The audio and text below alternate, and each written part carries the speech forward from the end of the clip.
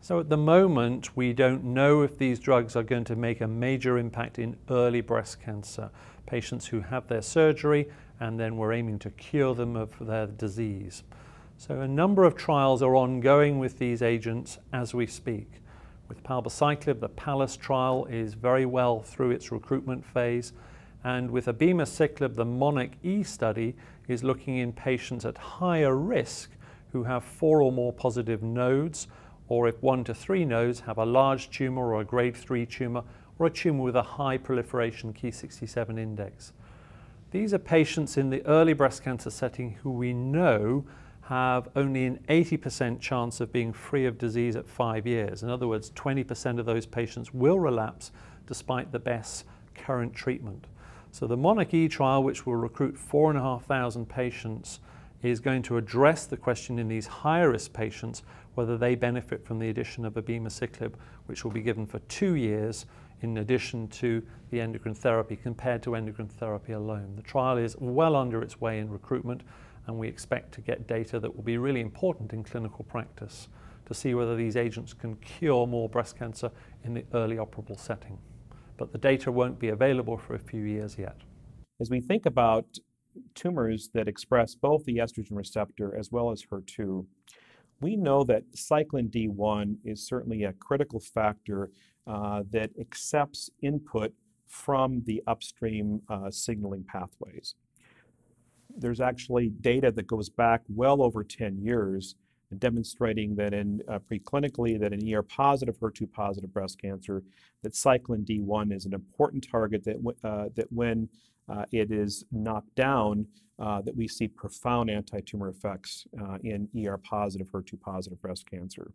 So therefore, it really does make sense if we think about targeting um, the uh, cyclin D, cyclin uh, uh, CDK4/6, uh, cyclin D axis, that we would not only target it with a CDK4/6 inhibitor, uh, but we would also target with uh, a drug that targets estrogen receptor, and we would also target the HER2 pathway. And certainly there are uh, quite excellent preclinical data demonstrating uh, this approach. But also there are some very exciting clinical data that have been observed. That is in patients that uh, have been ER that have ER positive, HER2 positive disease have been quite refractory. We've seen responses to single agent abemaciclib, but also uh, there are now data that have been generated uh, where we've combined CDK4/6 inhibitors along with trastuzumab and pertuzumab, along with endocrine therapy, and we're seeing uh, quite robust uh, responses. There are a number of clinical trials that are actually ongoing in the metastatic setting.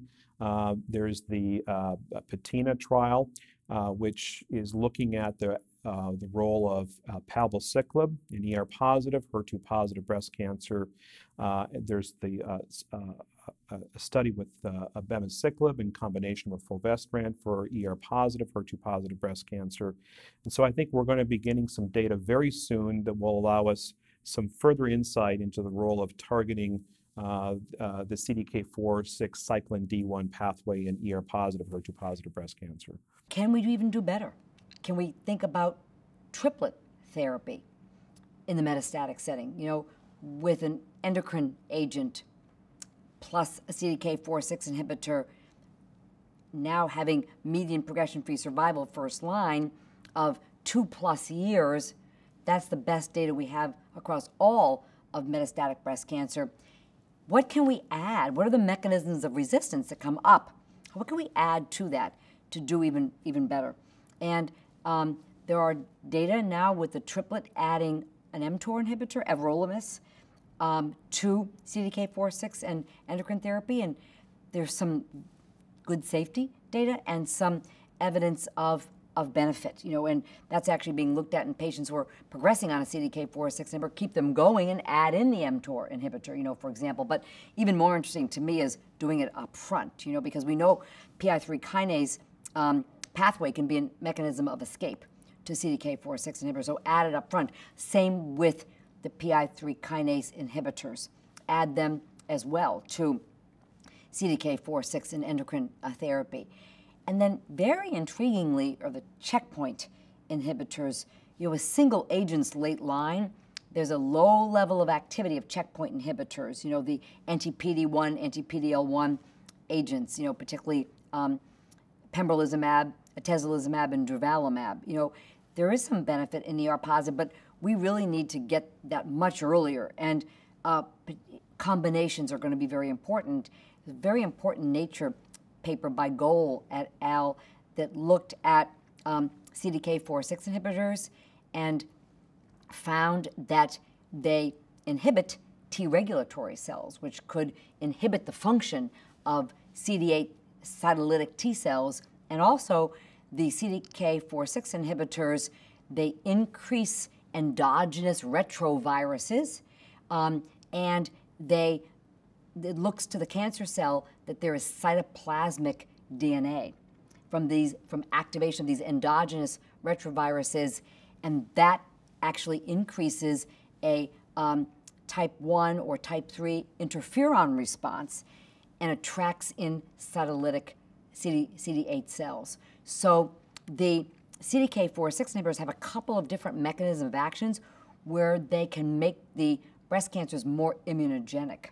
And so there's a lot of interest and studies ongoing combining the checkpoint inhibitors with CDK4/6 inhibitors. A study that Sarah Hurvitz did of preoperative abemaciclib with anastrozole actually showed in some patients that they went from sort of being a desert with regard to tumor infiltrating lymphocytes and after 16 weeks or so of abemaciclib, some of the cancers showed substantial infiltration of tumor infiltrating lymphocytes. Quite, quite interesting, and that's what the, the Nature Goel paper would suggest. So that's a very, very promising um, area. There are other um, agents in phase three trials in ER positive disease, such as the HDAC inhibitor entinostat. You know, if that is a positive trial uh, ongoing, that will be another candidate, you know, for example, because we need to probably look at various triplet therapies to see what's going to make the most sense to try to then go into the first line setting and try to get, you know, up to three, four years median progression free survival.